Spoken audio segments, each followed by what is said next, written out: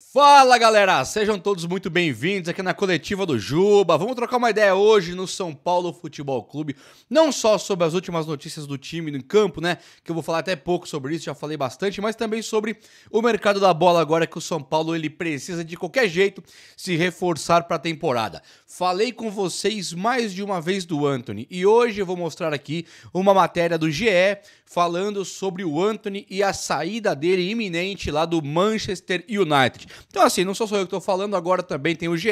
Talvez aqueles que vieram aí tão raivosos. Acho que agora vai, né? Não sou só eu, também tenho, tenho, tem também o GE. Também quero falar sobre o São Paulo que contratou um menino de 18 anos, já está no tricolor e teve reforço que já chegou para Zobeldia e treinou com bola voando no treino?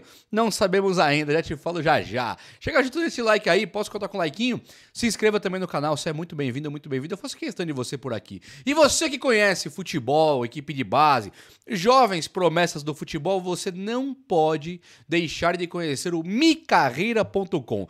Um site top, você vai no primeiro comentário fixado. Primeiro comentário fixado é onde você encontra o link para se cadastrar por ali. Eu vou te mostrar como é que funciona, mas é assim, ó. Você compra o jovem agora em baixa ou promessa e vende quando estiver em alta, tipo mercado de ações. Top! Você monta um grupo lá, o pessoal nas comunidades, fã-clube, começam a votar para incluir a jovem promessa no Mi Carreira. Você compra o cara e vende depois. Meu, fica muito legal, muito top. E eu quero te mostrar como é que funciona aqui na, na no micarreira.com. Você vai gostar demais. Inclusive foi incluído lá no micarreira.com o Pablo Maia. Então dá uma olhada na tela aí que eu vou te mostrar alguns jogadores, a interface da plataforma que é muito top. E você olha para tela agora aí, ó. se liga lá.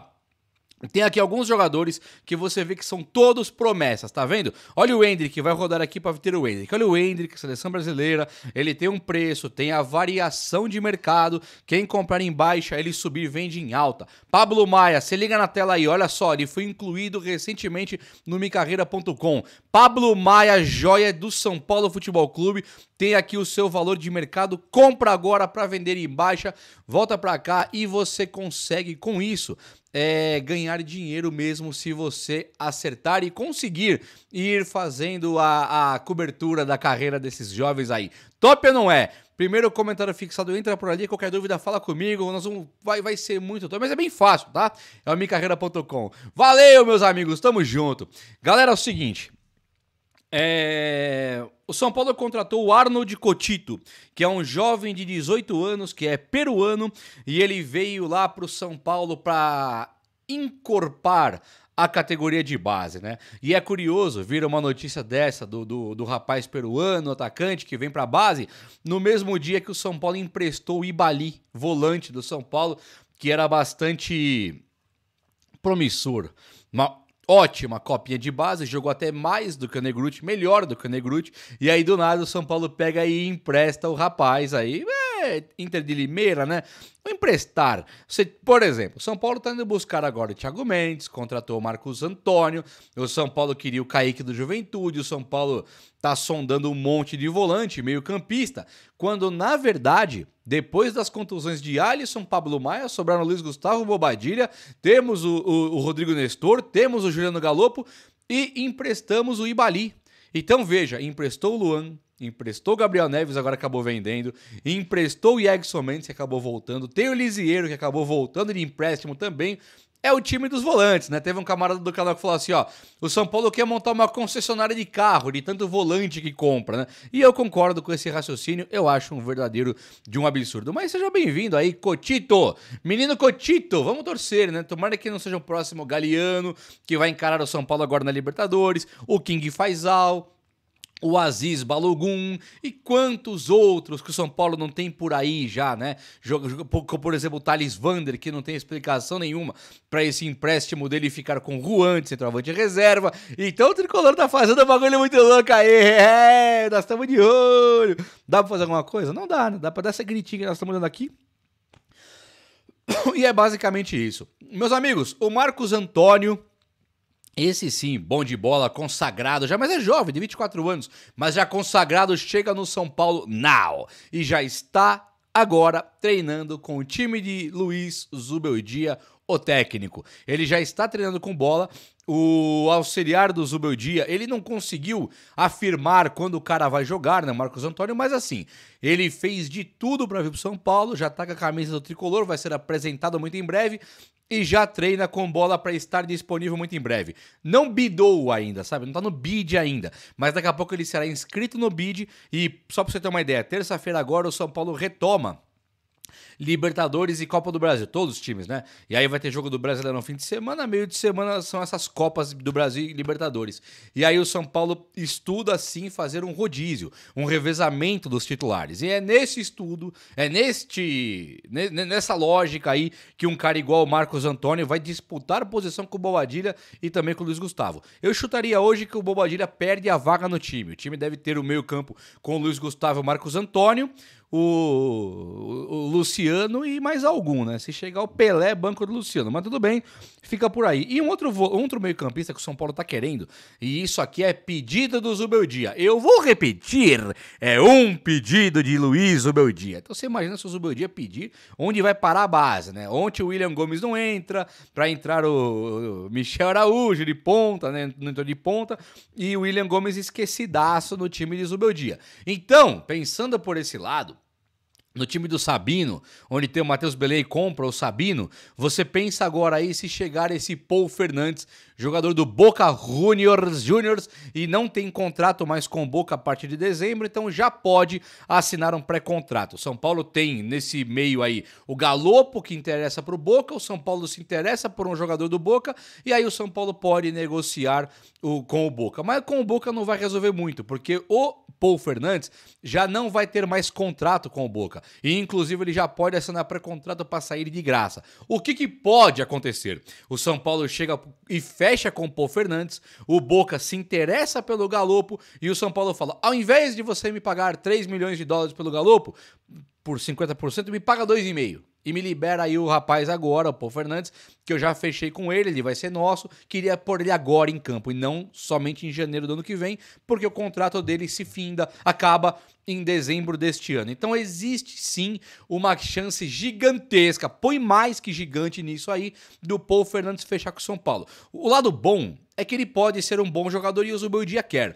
O lado ruim é que o Thiago Mendes ele vai ficando mais distante, né? E o Thiago Mendes, ele diferente de outros caras que tem por aí, que pegam uma proposta do São Paulo e fica estudando, espera, leva para outro time e fala: "Ó, o que o São Paulo me paga aqui, ó, só não quer pagar mais".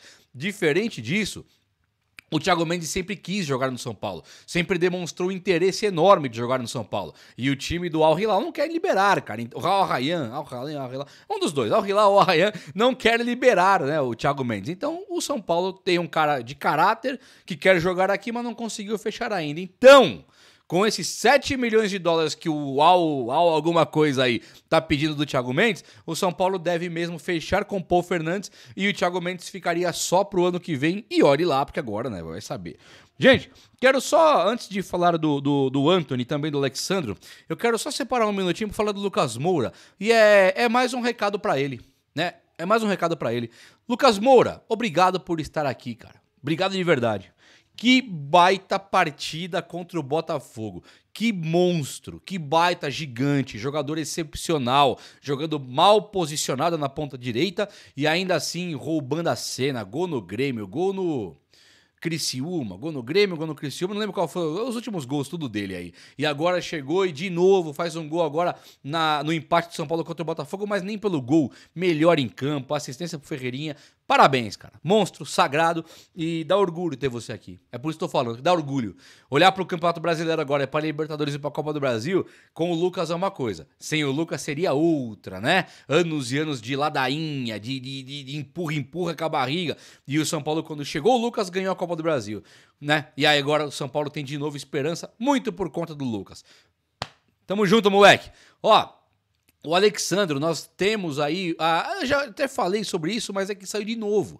Que o, o time lá do Grêmio ouviu o não de Alexandro. Que no Brasil, Alexandro quer o São Paulo. Essa história não está limpa e transparente, tá? O Alexandre está sendo colocado como um vilão na história, o cara que está segurando a proposta do São Paulo, o cara que não dá a resposta. Não funciona assim. Não interpretem que o Alexandre recebeu um papel lá, uma, uma proposta, colocou no bolso e falou: responda daqui a um mês. Não é assim tem pontas sendo amarradas aí. Eu quero isso, eu quero aquilo, eu só posso oferecer isso, tudo bem, mas isso aqui tem uma negociação envolvendo aí o São Paulo e o Alexandro e um time igual o Grêmio, um time da primeira divisão, um time gigante, tomou um não na cara do Alexandre, o Atlético do Paraná também. Aqui no Brasil ele troca ideia com o São Paulo. Então, assim, eu não encaro ele como esse vilão que estão falando, não, e acho, inclusive, que ele ainda vem pro São Paulo e tô rezando, hein?